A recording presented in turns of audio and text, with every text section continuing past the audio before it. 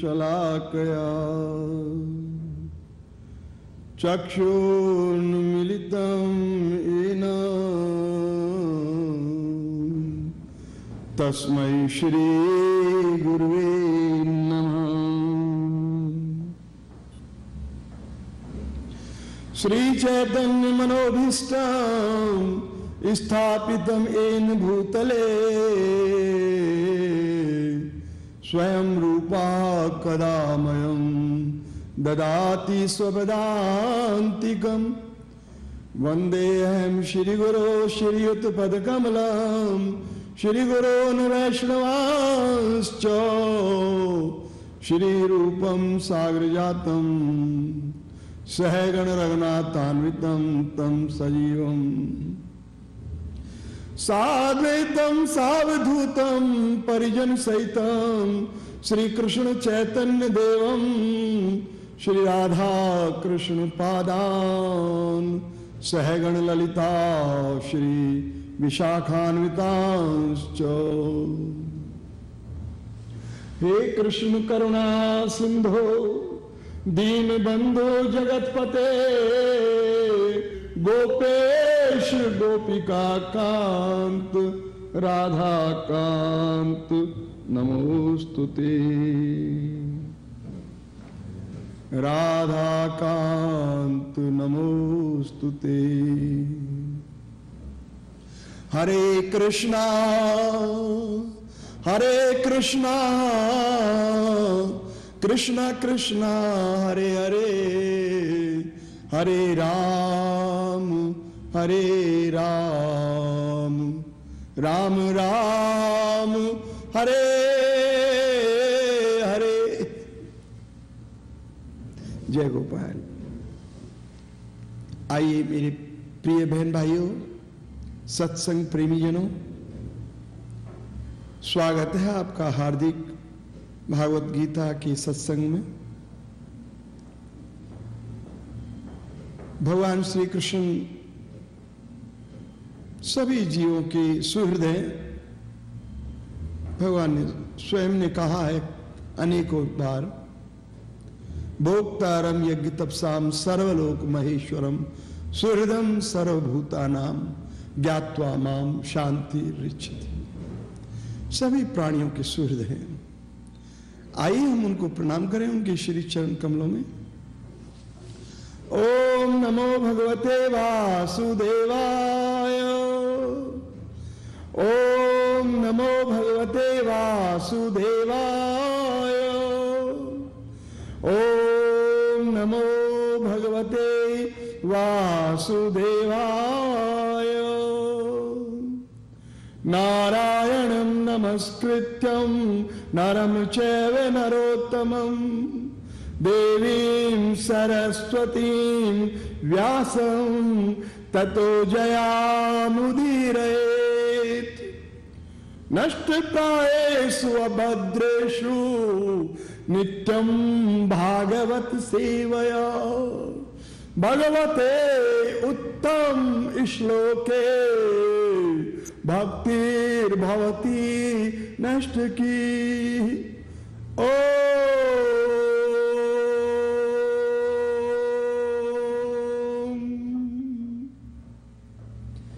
शांति शांति शांति। जय गोपाल। श्रीमद् भागवत गीता में सातवें अध्याय में भगवान श्री कृष्ण ने अर्जुन को उपदेश किए हैं और अर्जुन के माध्यम से हम सभी के लिए, आने वाले पीढ़ियों के लिए, युगों के लिए ये सता, सनातन धर्म जो सभी का कल्याण करने वाला है, भगवान ने उपदेश किए हैं इस ज्ञान के। भगवान कहते हैं कि अर्जुन चार प्रकार के व्यक्ति मेरी शरण में आते हैं, मेरी शरण ग्रहण करते हैं, चार प्रकार की। और चार प्रकार के व्यक्ति मेरे से दूर रहते हैं, मुझे नहीं पहचानते, वो मेरी शरण ग्रहण नहीं करते। आइए तो इन्हीं श्लोकों के ऊपर आज प्रकाश डाला जाएगा। भगवान कहते हैं कि नैमान दुष्कृतिनो मूढ़ा प्रपद्यंते नराधमा माया अपरित ज्ञाना आसुरम भावम आसिता। पिछले सत्संग में इसके विषय में बोला गया था। लेकिन कुछ और थोड़ा स्पष्टीकरण यहाँ पर है। सो सुनी नैमाम दुष्कृतनो मूढ़ा प्रपद्यंते नराधमा। हे अर्जुन, चार प्रकार के व्यक्ति मेरी शरण ग्रहण नहीं करते। एक तो जो नरों में अधम होते हैं।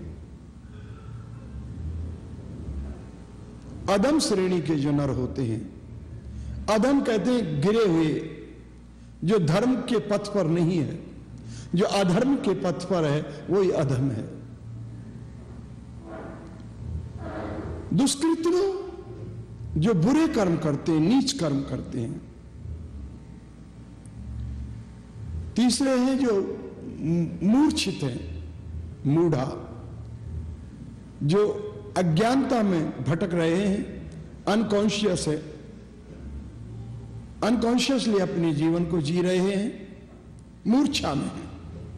उनको होश ही नहीं है कि हम क्या कर रहे हैं, क्या खा रहे हैं, क्या पी रहे हैं। क्या करना चाहिए, क्या नहीं करना चाहिए। किसी प्रकार का मूर्छित व्यक्ति को ज्ञान नहीं होता। जो अचेतन अवस्था में पड़ा है, उसको भला क्या ज्ञान? अचेतन आदमी हो तो उसके साथ में कुछ भी किया जा सकता है। उसको होश नहीं होता। मैंने देखा है, बंबई के अंदर शराब पी के आदमी नाली में गिर गया है। सड़क बह रही है, लोग जा रहे हैं, आ रहे हैं। लेकिन एक कुत्ता कहीं से चला आया और उस आदमी के ऊपर टांग उठा के पेशाब कर दिया, बिल्कुल एग्जैक्ट मुँह के ऊपर। और कई लोग इस बात को देख के आश्चर्यचकित रह गए कि सुना तो बहुत था, आज आँखों से देखा है कि देखो किस तरह से कुत्ते पेशाब। फिर भी उस व्यक्ति को तो मालूम नहीं है।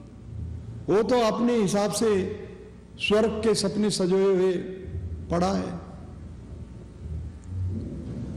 कौन व्यक्ति है जो सिकंदर नहीं बनना चाहता? कौन व्यक्ति है जो स्वर्ग जैसे सुख भोग नहीं करना चाहता? सभी के मन में ये अभिलाषाएँ होती है। बेशक कोई उसको सामने रखे या नहीं रखे, किसी को बताए या नहीं बताए, इन सभी के अंदर सिकंदर बनने की ख्वाहिश तो होती है। तो ये शराबी भी सपने सजोए अनकॉन्शियस में स्वर्ग के सपने देख रहा है।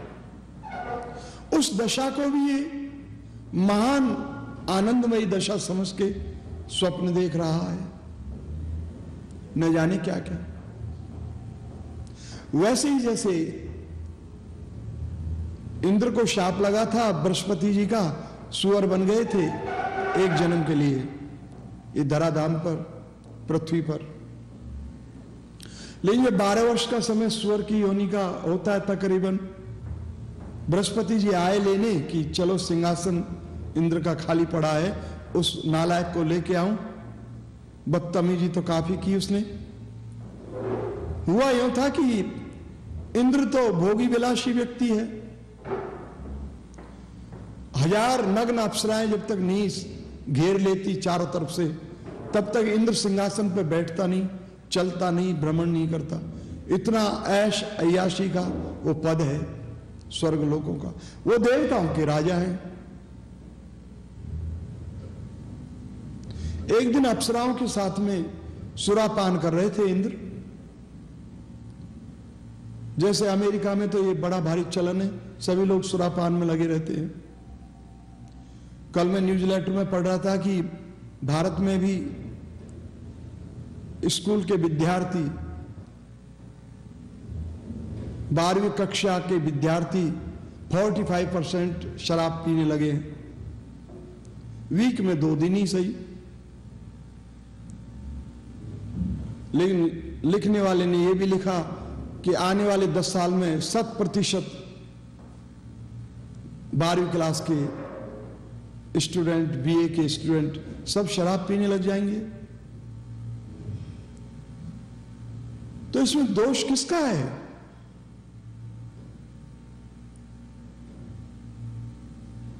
भारत सरकार तो शराब बनवाती है।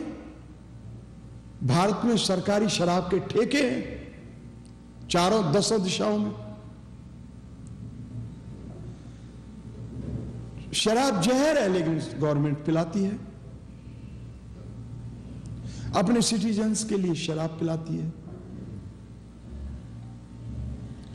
जुआ के अड्डे हैं, लॉटरी क्या है? जुआ के अड्डे लॉटरी हो, घोड़ों की रेस कोर्स हो, और विभिन्न प्रकार की चीज़ें। वैश्याओं के लाइसेंस भारत में मिलते हैं। तन बेचो।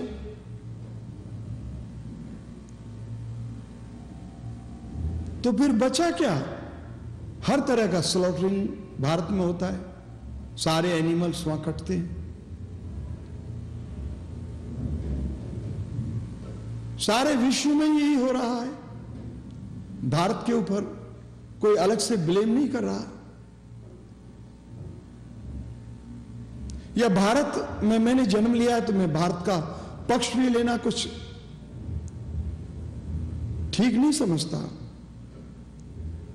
यदि मेरे अंदर कोई गलती है तो गलती है।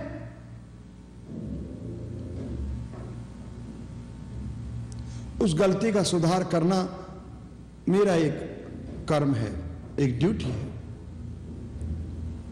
तो या तो मैं अपने से चैतन्य हो जाऊँ, उसमें सुधार लाने के लिए, या कोई मुझे जगा दे कि तुम ये गलती कर रहे हो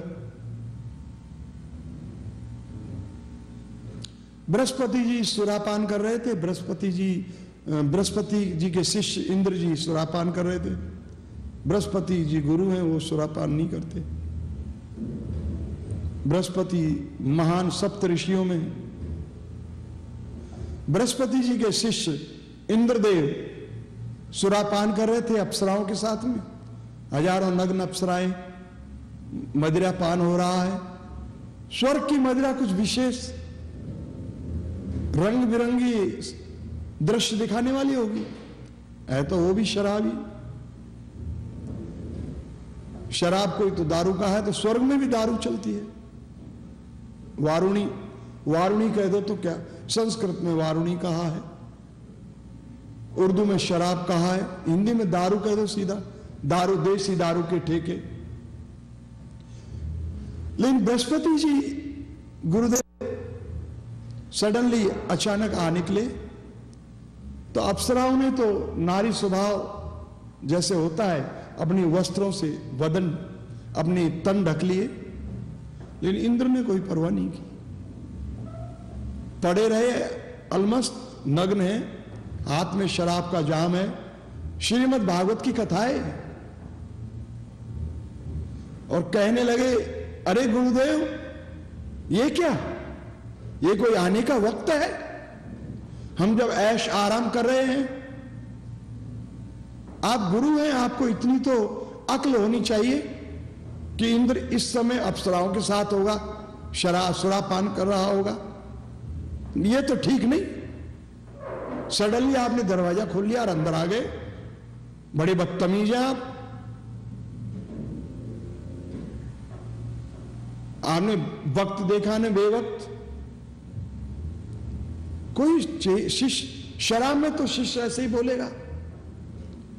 मदरा में शिष्य धुत है तो गुरु हो या स्वयं भगवान हो, वो तो कुछ न कुछ वो शराब के हिसाब से ही बोलेगा। बृहस्पति जी को बहुत बुरा था कि अरे नालायक, अरे बदतमीज, गुरु अपने शिष्य के घर और शिष्य अपने गुरु के घर किसी भी समय जा सकता है। मित्र अपने मित्र के घर, आधी रात को भी जा सकता है। दोष नहीं। ऐसे गुरु, शिष्य के घर या शिष्य गुरु के घर किसी भी वक्त पर जा सकता है। कोई दोष नहीं है। जैसे नारी पति के घर कभी भी आ जा सकती है। कोई दोष नहीं है। यहाँ तक भी कि अपने पिता के घर भी कभी भी जा सकती है। आधी रात हो तो क्या है उसका घर है, उसकी जन्मभूमि है, उसका पिता का घर है, माँ का घर है, जा सकती है, कोई दोष नहीं है।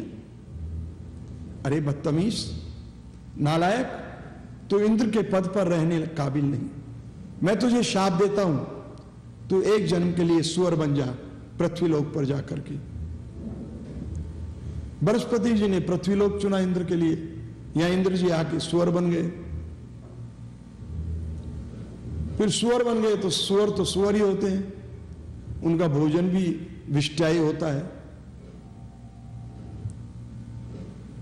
तो गंदी नालियों में उतरे रहे दर्जनों उनकी सुवर्णिया पत्नी बन गई। सौ, तकरीबन सौ बच्चे पैदा कर दिए। वो भी उनके साथ साथ नालियों में उतरे रहे और बिस्टा खाते फिरे। सारे दिन जब थकान हो जाए तो थोड़ी शीतल खुंडियाँ, गंदगी की, वहाँ शीतलता का आनंद लें और मज़े करते रहें। स्वर की योनि जब समाप्त होने को आई तो इंद्र बृहस्पति जी ने सोचा कि उस नालायक को ले वापस लेके आऊँ। मैंने शाप दे दिया था उसको तो सुअर बना फिर रहा है पृथ्वीलोक पर। बिष्टा खाता फिरता है। आखिर तो मेरा शिष्य है। बृहस्पति जी आए लेने के लिए। तो देखा कि अरे, इसके तो दर्जनों तो रानियाँ साथ साथ घूम रही हैं। सैकड़ों बच्चे घूम रहे हैं और बिष्टा खा रहा है। बिष्टा ही खाएगा। बृहस्पति ने कहा, इंद्र, सुअर कैसे? सुअर तो अपनी भाषा में जवाब देगा। उन्होंने खो खो करके जवाब दिया कि क्या बात है? बोले, मैं तेरा गुरु हूँ बृहस्पति. इनफैक्ट गुरु बृहस्पति जी में पावर है उनके शब्द में। स्वर की योनि में भी इंद्र को थोड़ा होश तो आया, जब उन्होंने कहा कि क्या बात है फिर, गुरु हो तो मैं क्या करूँ? और पिष्टा खाने लग गया। बोलो, भाई, सुनो तो सही, मैं तुम्हारा गुरु हूँ, मैंने तुमको शाप दिया था, इसलिए तुम सुअर बने हो। चलो अब वापिस। स्वर्ग का सिंहासन खाली पड़ा है। लेकिन कथा कहती है कि इंद्र ने कंप्लीटली मना कर दिया कि मैं वहाँ नहीं जाऊँगा। क्या करूँ वहाँ जाकर के? है क्या वहाँ? स्वर्ग में है क्या? अरे, यहाँ मेरी दर्जनों रानियाँ हैं। एक से एक सुंदर, खूबसूरत। सैकड़ों मेरे बच्चे हैं। ये शीतल खुंडियाँ। रहने के लिए खाने के लिए सुंदर बिस्टार या गटर नालियाँ। ताज़ा से ताज़ा यहाँ खाने को मिलता है मुझे। क्या है स्वर्ग के अंदर? मैं नहीं जाना चाहता। लेकिन बृहस्पति जी पावर है उनके अंदर। उन्होंने उनको और चैतन्यता दी, जगाया उनको, झकझोरा। कि अरे मूर्ख, तू सुअर है, सुअर की योनि में है, निकल इससे। आखिर ज़बरदस्ती उनको उस गटर में से, गंदी गटर में से निकाला गया।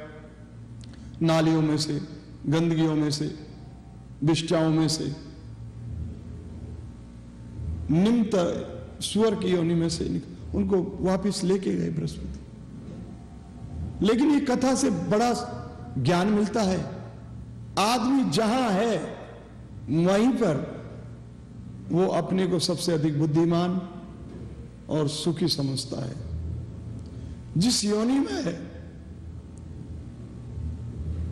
चीटी भी बनना नहीं चाहती। चीटी को मालूम तो है कि मैं इतनी छोटी सी और मैं बड़े बड़े दूसरे योनियों को देखती हूँ। कोई हाथी देखती हूँ, कोई मनुष्य देखती हूँ, कोई ऊँट निकलता है, कोई घोड़ा निकलता है, किसी के पाँव से भी दब जाऊँगी। बड़ी, ये तो कोई योनि खास नहीं। लेकिन चीटी को थोड़ी सी आवाज़ करो तो ऐसे भागती है जैसे कोई नहीं मरना चाहता। तो जो जहाँ पर है, वहाँ से कोई निकलना ही नहीं चाहता। कोई शराब, नंबर वन का शराबी है वो शराब से नहीं निकलना चाहता। कोई दुष्कृत्य है, नीच कर्म करता है, वहाँ से नहीं निकलना चाहता। एक कसाई है मुझे मिलता है रास्ते में। मैं आता जाता हूँ मंदिर जो। तो कभी दु, दुकान के बाहर खड़ा मिल जाता है सिगरेट पीता तो मुझे बोलता है पुजारी जी जयराम जी की। तो मैं जयराम जी की तो कर लेता हूँ लेकिन मैं खुश नहीं होता। आखिर एक दिन मैंने उसको समझाया कि तू ये रोज काट काट के बेचता है गऊ का मांस बकरे का मांस छोड़ दे। कोई और दूसरा जॉब कर ले। तू बार बार मुझे जयराम जी करता है तो मुझे तेरे ऊपर तरस आता है। क्यों ये, कोई ज़रूरी है कि ये कटिंग ही करे? लेकिन वो बोलता है, स्वामी जी में इसमें हर्ज क्या है? तरबूज काटने वाले तरबूज काट के नहीं बेचते क्या? इसमें हर्ज क्या है? तो बताइए, कैसे समझाओगे उसको? बड़ा मुश्किल हो जाता है। आदमी जहाँ पर है, वहीं पर। मन फूला फूला, कबीर जी ने गाया कि नहीं? मन फूला फूला फिरे, जगत से कैसा नाता रे। नहीं, वो तो मन मग्न, अपने कोई कितना ही कहे कि दुष्कर्म है, ये बुरे कर्म है, नीच कर्म है, करता है। और सोचता है कि मैं कर रहा हूँ, ये परफेक्ट है, कोई इसमें क्या बुराई है? नहीं, लेकिन बुरे कर्म भी होते हैं, भले कर्म भी होते हैं। ये बुरे और भले के संयोग से ये संसार बना है। इसमें बुरे आदमी भी हैं, भले आदमी भी हैं। इसमें धर्मी भी हैं, अधर्मी भी हैं। इसमें न्यायिक राजा भी हैं और अन्यायिक राजा भी हैं। सभी प्रकार के लोग इसमें भरे पड़े मित्र भी हैं, शत्रु भी हैं। प्यार भी है, वह मनुष्यता भी है, दुश्मनी भी है। लेकिन जब प्यार मिल रहा है मुफ़्त में तो दुश्मनी क्यों माथे पे चढ़ाते हैं, क्यों उड़ते हैं? ये तो उन्हीं से पूछा जाए जो ऐसा करते हैं। यहाँ पर भगवान कहते हैं कि चार प्रकार के व्यक्ति मेरी शरण में नहीं आते। दुष्कृतिनो जो बुरे कर्म करते हैं, नीच कर्म करते हैं, वो वो डरते हैं, वो मेरी शरण में आकर के, वो भी मुक्त, मुक्ति को प्राप्त हो सकते हैं, वो भी मोक्ष को प्राप्त हो सकते हैं, वो भी मेरे धाम को प्राप्त कर सकते हैं। लेकिन नहीं आना चाहते। लेकिन कोई संत की कृपा हो जाए किसी नीच कर्म करने वाले के ऊपर, या कोई नर अधम के ऊपर, या कोई मूर्छित अवस्था में जीने वाले व्यक्ति के ऊपर, या आसुरी भाव में रहने वाले के ऊपर।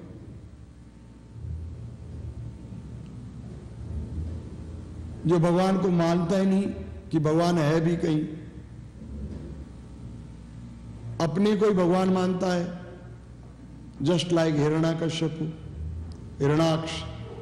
रावण, कुंभकर्ण, दंतवक्त्र, शिशुपाल, जरासंध, ये कोई राम कृष्ण को मानने वाले नहीं, ये परमात्मा को मानने वाले नहीं, ये भजन ध्यान को मानने वाले नहीं, नरकासुर।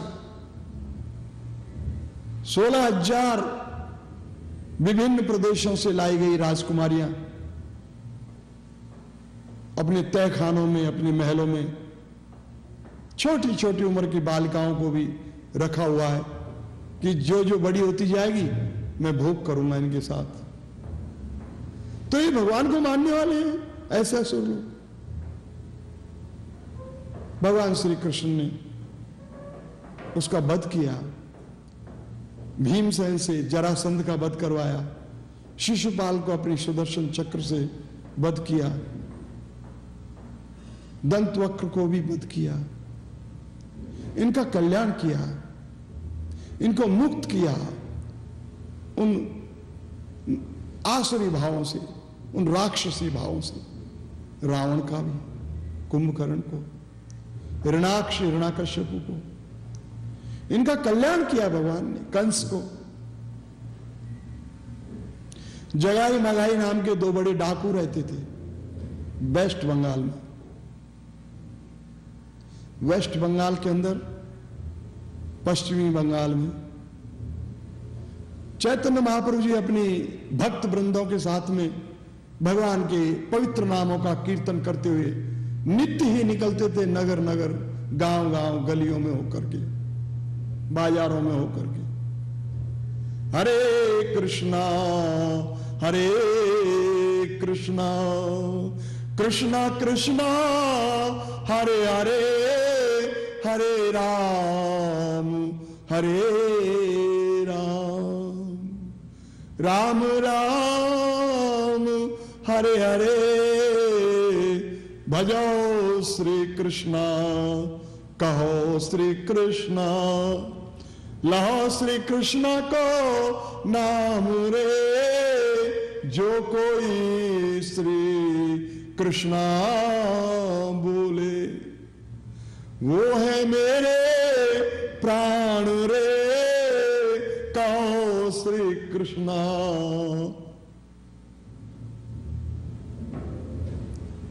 जब एक कीर्तन करते हुए एक दिन एक गाँव से दूसरे गाँव को जा रहे थे तो वन के अंदर जंगलों में, पेड़ों में छुपे रहते थे। ये महान हत्यारे डाकू थे, जगाई मगाई, जगाई मदाई। जब एक कीर्तन की आवाज़ सुनी इन्होंने, मृदंग बज रही है, करताल बज रही है, कीर्तन गा रहे हैं भक्त वृंद। सुरीली आवाजों में भगवान नाच रहे हैं, झूम रहे हैं, चले जा रहे हैं इस रास्ते में। तो ये तो छुपे रहते थे, पेड़ों के झुरमुटों में। शराब पीते रहते थे। कोई भी राहगीर जाए, कोई औरत जाए, कोई जाए, हाथ पाँव काट देते थे। गहना छीन लेते थे, मार डालते थे। इन्होंने बाहर निकल के कहा बंद करो, ये हरिनाम बंद करो। ये तुम, जिसको हम सुनना नहीं चाहते कानों से, उसका ही नाम लेते हो। बंद करो। आखिर भक्त लोग कहा मानने वाले, कीर्तन करते रहे।